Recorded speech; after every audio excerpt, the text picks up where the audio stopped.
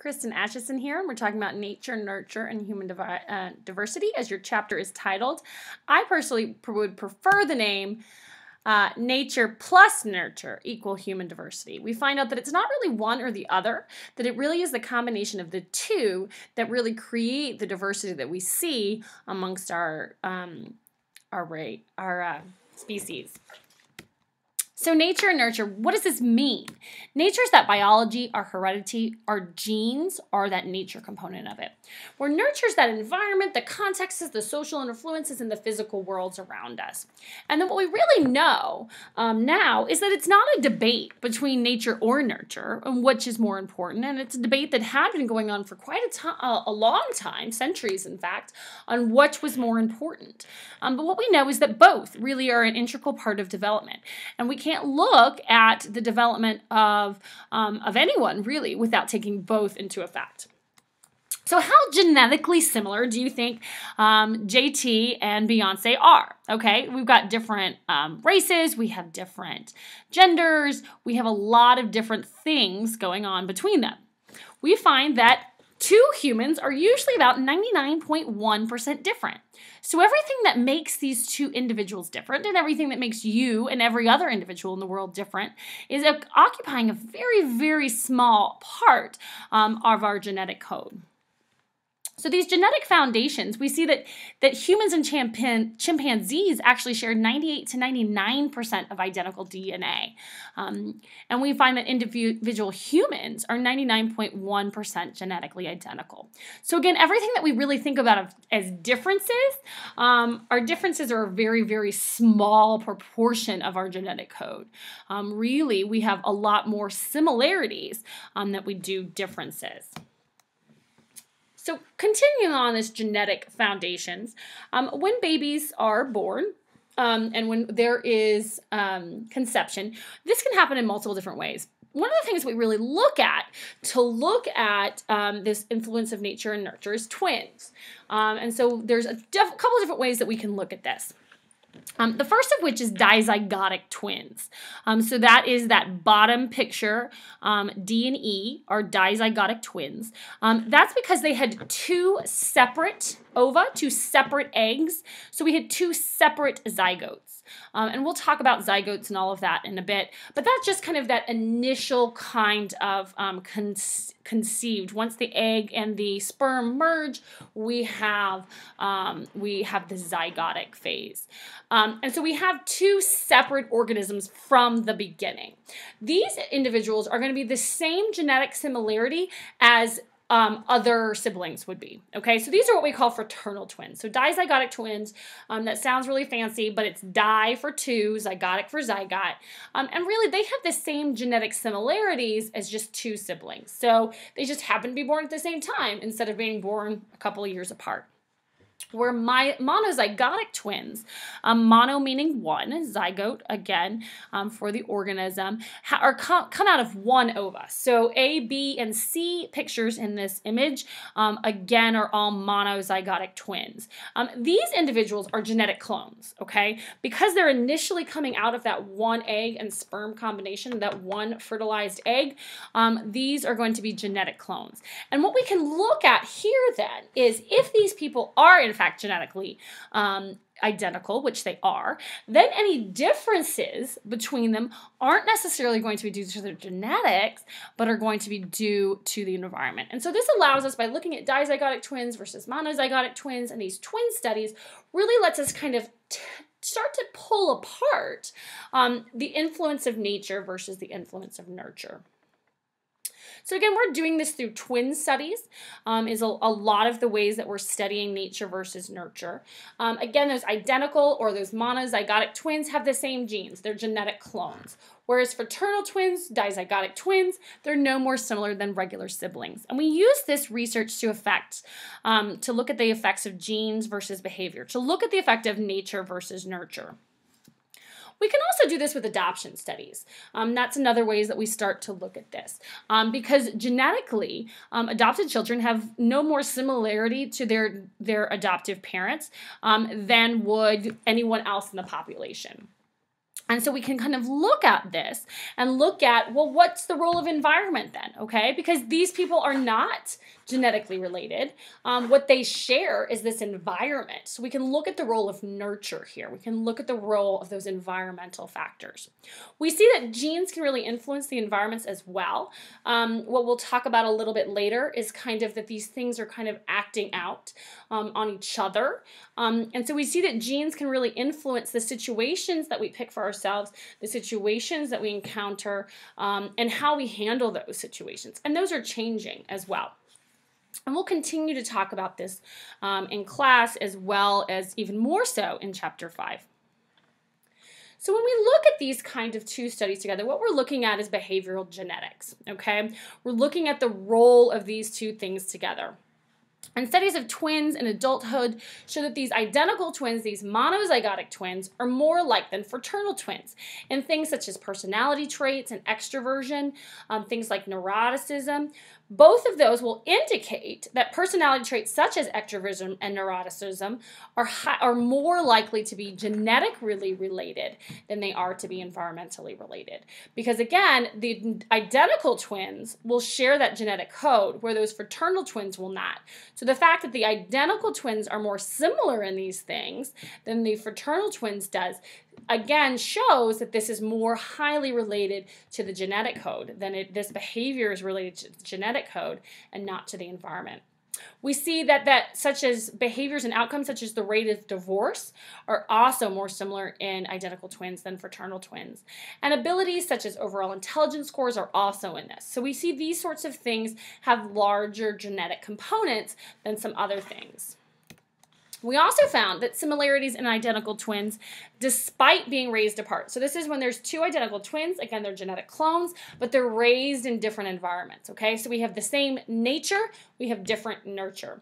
And we still are finding that personality styles are going to be very, very similar. Um, are going to have this genetic component. Again, IQ having this genetic component attitudes, interest, taste, specific fears, brainwaves, heart rate, or all these kinds of similarities. And we'll show you a video on epigenetics, which is kind of gives you a funny example um, of, of that as well. Nurture, that environmental influence, um, is kind of everything else. Now, just because these identical twins or these fraternal twins or even siblings were raised in the same environment doesn't mean that everything's the same, right? We can have what's called non-shared environment. So think about if you have a sibling, think about how you and your sibling were treated differently even though you had the same parents, right? So my mom and dad, my brother and I are six years apart, and my mom and dad, my mom specifically, um, was really she didn't let us have a lot of sugar growing up. Especially, um, there was a difference between how me and my brother got kind of sugar growing up. When I was a kid, the kind of um, cereals I got were Cheerios and Rice Krispies. If I was lucky, Kix. Um, these really low sugar cereals. By the time my brother came around, and by the time my brother was in middle school, he was getting things like Oreo O's, so cereal by the Oreo Cookie Company. so again, we had differences. Um, we also had differences um, in kind of our you know our responsibilities towards buying our first car. Um, so i had to pay for my first car outright myself. Um, they tried to do that with my brother. Um, he, they kind of had him pay for it. Um, but as soon as that car broke down relatively quickly um, they kind of came in and bought him another bought him a car. So we got had kind of different environments. Some of that was the differences in finances. Um, my dad had started a consulting company when i was in high school that was just kind of getting off the ground. So we didn't didn't have a lot of financial stability when I was in high school. But by the time my brother got into high school, six years later, my dad's consulting business was doing very, very well. And so they had a lot more financial stability, a lot more financial flexibility. So while my brother and I, I mean, you look at our baby pictures, and it's hard to tell the two of us apart if we're just in diapers. Um, are very, very similar genetic. We've got the same parents, we, but we had very different non-shared environments. Okay. So we had, and we experienced this non-shared environment can also be carried out um, and experiencing environments differently, um, experiencing the same event and having those different interpretations about it, and having different reactions to those situations as well. Creating that different reaction will change that environment as well. Again, what we really know from all of this is nature and nurture are working together. Um, I said earlier in the semester that I was going to use the term bidirectional a lot. Here's another chance. Um, development is occurring via bidirectional interactions or coactions between nature and nurture, between genetics and environment at all levels of the organism. So here's a picture um, from a paper by Gilbert Gottlieb. And what we see here is, again, that genetic activity is affecting neural activity, which is then going back and affecting genetic activity. Same with behavior, same with environment. These are all happening on all the different levels of the organism. And this, this kind of web of development is really what um, changes and creates this diversity in us. That it's the interaction um, between both nature and nurture, between our genetics and our environment environment that really make us who we are. It's not one, it's not the other, it's the confluence of both of them together. Another um, researcher who uses this model is Bronfenbrenner. Um, again, he's saying that this is this bidirectional interaction, that individuals are both products and producers of their environment. So our genes um, help create those environments for us, okay? So that's how we're producers of our environments. That's kind of how the genes point towards environment. But how the environment ports back towards genes um, is that there's that interplay that goes back. That inner that uh, environment can change our genes as well. There's a process called epigenetics that I mentioned a few minutes ago, and I'm going to have you watch a video on that. Um, but it really shows us um, that genes can get turned on and off based on these changes in the environment um, that change our genetic code. An example of this bidirectional nature between um, the bidirectional relationship between nature and nurture um, is temperament. Um, this is that was something that was studied initially by Thomas and Chess, and then went back and Mary Rothbart kind of has um, kind of revised it to a more modern view. But what we see is that there's several different kinds of temperaments, and that these temperaments are kind of like baby personality or small child personality um, is kind of a kind of a shortcut way to think about it and that there's different ones. And they're genetically determined but they help change our environment. And those environments can help change our temperaments as well. So these are categorized into several different things one of which we have is easy children. Um, easy children are those ones that establish regular routines they're cheerful they adapt easily to new experiences. This is kind of the kid that everybody hopes for. Um, and again, they really are kind of go with the flow kind of kids, okay? They're adaptable. Um, they establish a routine. If bedtime's at 7 o'clock, they go to bed at 7 o'clock really, really well. Um, they adapt to new changes, they adapt to new experiences. You can take them a new place and they're not going to freak out. Um, whereas difficult children, have these more um, irregular they're they are more irregular in their daily routines okay? They um, some mornings will wake up at seven some mornings are going to wake up um, at five some mornings are going to wake up at nine. They are irregular in their routine okay? When they take them someplace new um, it's hard to accept that new experience and their reactions tend to be very negative and very intense okay? So this is where you take a kid someplace new and they flip out Okay. Um, this these children can be at risk for adjustment problems. We also have the third group of, of individuals, the third group of children, the slow to warm up children. These kids are more inactive. Um, they have mild, low-key reactions to stimuli, and they still they're still adjusting slowly to um, new experiences. When they started this kind of categorization of the three, what they found though was 35% did not fit into one of these kind of categories. Um, that we really were seeing unique blends of these as well. We do see that these temperamental um, differences have some kind of stability. They're, they're again biologi- biologically based, but they're typically persistent over time. So we see that these emotionally reactive infants um, continue to be emotionally reactive at nine months. So they may be taking testing them really early on at about two months, and still seven months later, they're still emotionally reactive children. We see shy six month olds are still shy at 13 years of age. And again, this is not everybody. Remember that we are a science, like all science, of science of averages. Um, and so, on average, um, a shy six month old um, may develop into a shy 13 year old. Emotionally intense preschoolers tend to kind of maintain that level of intensity as young adults. Okay, so again, that there is just this is how that individual reacts emotionally to these situations, and that's kind of a persistent reaction. We also see that identical twins, more than fraternal twins, have similar temperaments. Again, this is going to point towards um, this really genetic, this biological base of temperament. Um, because again, these identical twins are genetic clones, where our fraternal twins are no more similar than siblings. And we see more similarities in temperament with the genetic twin, the genetic clones, than we do with typical siblings and fraternal twins. So again, this points towards that biological base. There's a video that I hope to show you in class that again will show you kind of this relationship um, kind of between um, nature and nurture here as when using temperament as an example.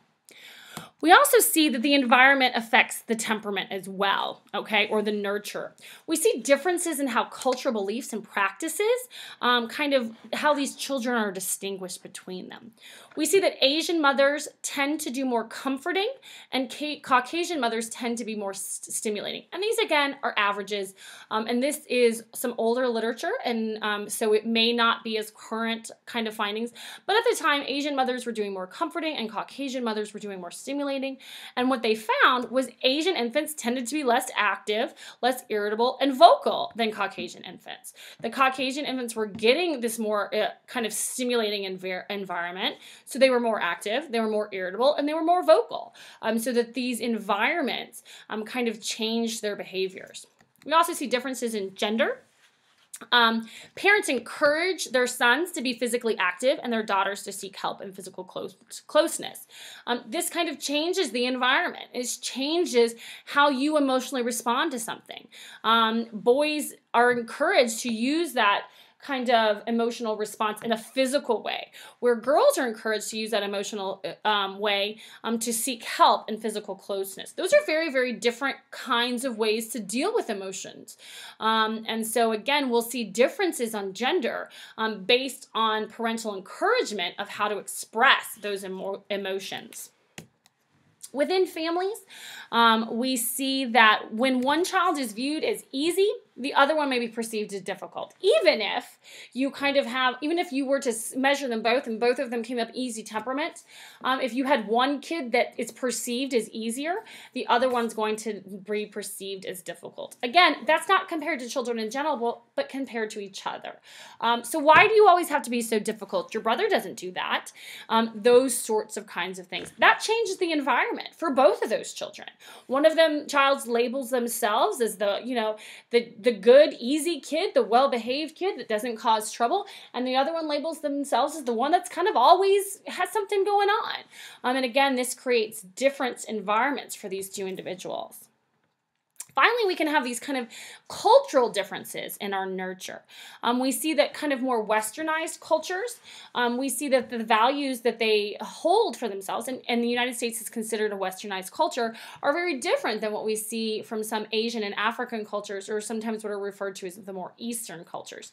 We've kind of revised these terminology, and we have individualistic cultures. Again, the United States is an individualistic culture versus a collectivist culture, um, which the Asian, African, African cultures, those Eastern cultures tend to be more collectivist.